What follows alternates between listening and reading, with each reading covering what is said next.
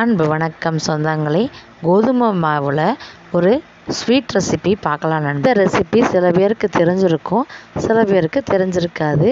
நாங்கள் எங்கள் வீட்டில் எப்பயுமே இதை செய்கிற ரெசிபி தான். தீபாவளிக்கு அதிகமாக செய்வோம். இந்த கோதுமை மாவு ஸ்வீட் ரெசிபி வெளியில் வச்சு நம்ம சாப்பிட்டுக்கலாம். ஃப்ரிட்ஜில் வச்சு சாப்பிட வேண்டிய அவசியம் இருக்காது. ஒரு வாரம் வரை கெட்டு போகாது. இந்த ரெசிப்பியை மைதா மாவுலேயும் செய்யலாங்க. ஏன்னா என் பெரிய பையனுக்கு வந்து மைதா மாவு சேராது.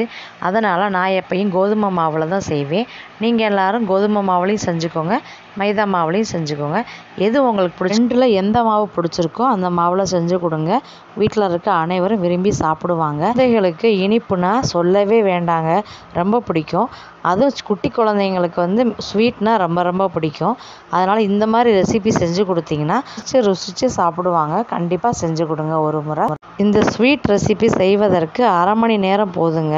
அரை மணி நேரத்தில் நீங்கள் செஞ்சு முடிச்சிடலாம். நான் சின்ன பிள்ளையா இருக்கிறப்ப இந்த ரெசிபி எங்கள் அம்மா எனக்கு அடிக்கடி செஞ்சு கொடுப்பாங்க. இது எனக்கு ரொம்ப பிடிக்கும். அதனால் நான் அடிக்கடி கேட்பேன் எங்கள் அம்மாட்ட. எங்கள் அம்மா எனக்கு செஞ்சு தருவாங்க. இப்போ நான் என் பையங்களுக்கு செஞ்சு கொடுக்குறேன். நைன்டிஸ் கிட்ஸ் ஸ்வீட் ரெசிபி அப்படி கூட சொல்லலாங்க இந்த ரெசிபிக்கு பேர். சும்மா எடுத்து சாப்பிடுவதுக்கும் மொறு மொறு மொறுன்னு இருக்கும்.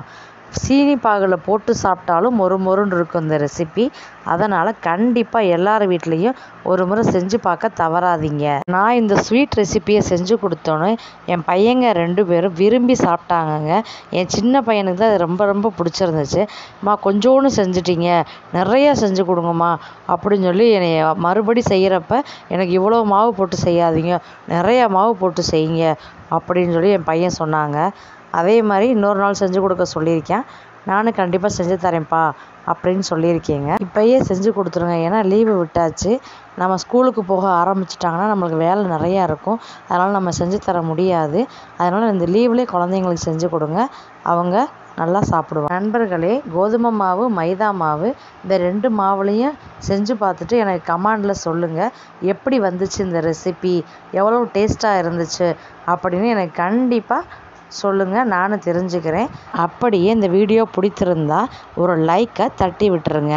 இந்த அடிக்கிற வெயிலை பார்த்தாலே வெளியே போக முடியலைங்க. அதனால் குழந்தைங்களுக்கு வீட்டிலே இந்த மாதிரி சின்ன சின்ன ரெசிப்பியை செஞ்சு கொடுங்க.